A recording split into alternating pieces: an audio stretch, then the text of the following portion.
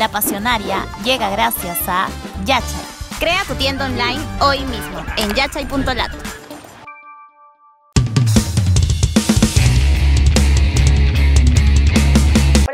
El machismo atraviesa ideología, clase, razas y coyuntura política, lo que no quiere decir que cada uno de estos factores no sean determinantes en la manera en que se ejerce sobre las mujeres.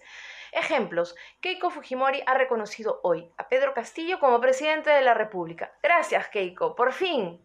Casi dos meses después, y luego de poner en jaque a todo el país con campañas internacionales llenas de acusaciones infundadas de fraude, así es, 55 días haciendo perder al país tiempo, dinero y sobre todo salud mental, difamando, mintiendo y calumniando, Fujimori sale tan tranquila a decir que reconoce al presidente y que incluso está dispuesta a reunirse con él si éste se lo pide formalmente. Y no pasa nada, como hizo con Humala, con Kuczynski, con Vizcarra y con Sagasti. Keiko quiere ahora su foto con Castillo, mientras sus esbirros en el Congreso intentan la vacancia o por lo menos conducir al gobierno a la inoperancia total.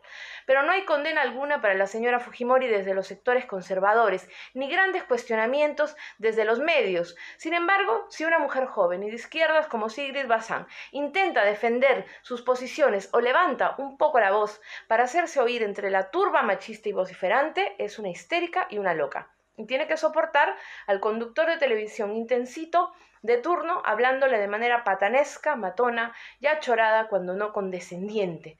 El machismo es universal, pero el poder lo matiza. Y también lo matiza la moralina conservadora. A otra congresista, Roseli Amuruz, una congresista en este caso de derecha, se le juzga más por no comportarse de manera apropiada que por romper las normas de seguridad COVID en su fiesta de cumpleaños.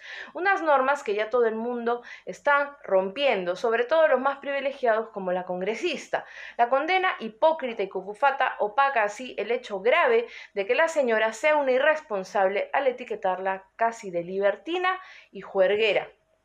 Fujimori, Bazán y Amuruz son tres mujeres sobre las que el machismo opera de manera distinta, porque el machismo es uno, pero hay formas de ejercerlo, y cae de distinta manera si se trata de mujeres blancas o marrones, pobres o ricas, funcionales al poder económico o críticas del mismo. Es importante entender estos matices para poder condenarlo desde una visión transversal.